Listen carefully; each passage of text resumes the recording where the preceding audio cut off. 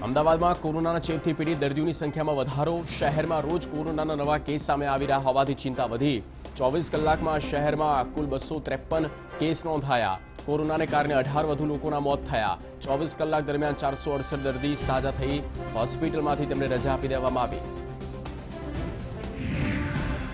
વિશ્વ પ્રસિદ્ધ એસ્ટ્રોલોજર વેજાન દારૂવાલાનું નિધન થયું છે તેમનો કોરોના રિપોર્ટ પોઝિટિવ આવ્યા બાદ હોસ્પિટલમાં દાખલ કરવામાં આવ્યા હતા જ્યાં તેમનું સારવાર બાદ નિધન થયું છે આ અંગે બેજાન દારૂવાલાના પુત્ર નસ્તુર દારૂવાલાનું કહેવું છે કે તેમના પિતાનું ન્યુમોનિયાના ઇન્ફેક્શન અને ઓક્સિજન ઓછો મળતો હોવાને કારણે અવસાન થયું છે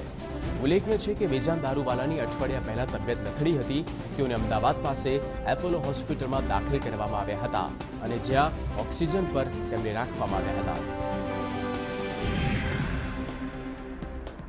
અમદાવાદની વીએસ હોસ્પિટલને ફરી કાર્યરત કરવા માટે હાઈકોર્ટમાં રજૂઆત કરવામાં આવી. વીએસ હોસ્પિટલમાં એકસો આઠ જેટલા આઈસીયુ બેડ છે, બાવીસ જેટલા વેન્ટિલેટર, છતાં મહામારીના સમયમાં તેને ચાલુ કરવામાં નથી આવ્યા. આ સિવાય અન્ય એક રજૂઆતમાં ત્રીસ હજારનું ઇમ્યુનિટી બુસ્ટ ઇન્જેક્શન ખાનગી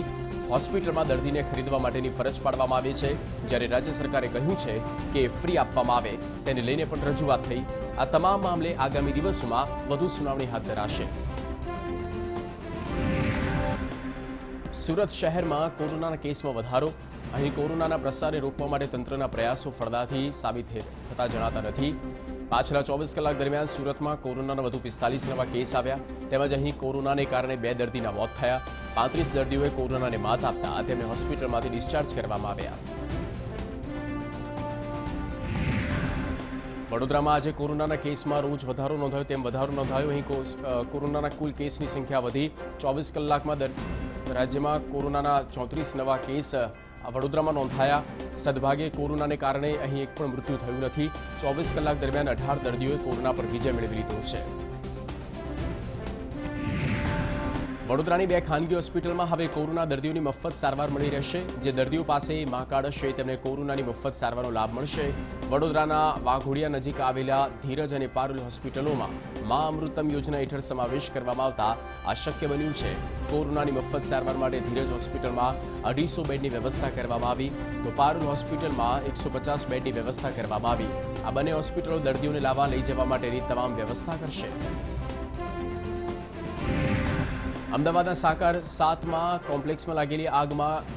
એક શખ્સનું સારવાર દરમિયાન મોત થયું આશ્રમ રોડ વિસ્તારમાં આવેલા કોમ્પ્લેક્સમાં અચાનક આગ લાગી જ્યાં ચોથા માળેથી જીવ બચાવવા એક વ્યક્તિએ છલાંગ મારી હતી જે બાદ ઇજાગ્રસ્ત શખ્સને સારવાર માટે હોસ્પિટલ લઈ જવામાં આવ્યો ચાલુ સારવાર દરમિયાન તેનું મોત થયું મૃતક વ્યક્તિ લોન એજન્ટ હતો અને તે મિત્રની ઓફિસમાં મળવા ગઈ ત્યારે આ દુર્ઘટના બની રાજકોટમાં પાન બીડી અને તંબાકુનો ઓગણીસ જેટલા જથ્થાબંધ વેપારીઓને ત્યાં પુરવઠા વિભાગે સપાટો બોલાવ્યો લોકડાઉનના સમયગાળા દરમિયાન વેપારીઓએ કાળાબજારી કરી હોવાની ફરિયાદ મળતા તંત્રએ જીએસટી વિભાગના અધિકારીઓને સાથે રાખી સ્ટોક ભાવ અને વેચાણ મુદ્દે કાર્યવાહી કરી રાષ્ટ્રીય કામધાનુ આયોગના અધ્યક્ષ ડોક્ટર વલ્લભ કથેરિયાનો જણાવ્યું કે ભારત પ્રથમ વખત ગાયના પંચગવ્યથી તૈયાર કરવામાં આવેલી દવાનો કોરોના પોઝિટિવ દર્દી પર ક્લિનિકલ ટ્રાયલ કરવા જણાવી રહ્યું છે ગાયના ગૌમૂત્ર દૂધ દહીં ઘી અને છાણના ઉપયોગથી આયુર્વેદ દવા ઉપલબ્ધ કરવામાં આવી જેને હોટસ્પોટ અમદાવાદ સુરત વડોદરા સહિત દેશના દિલ્હી હૈદરાબાદ પુના જેવા શહેરમાં ક્લિનિકલ ટ્રાયલ કરવામાં આવશે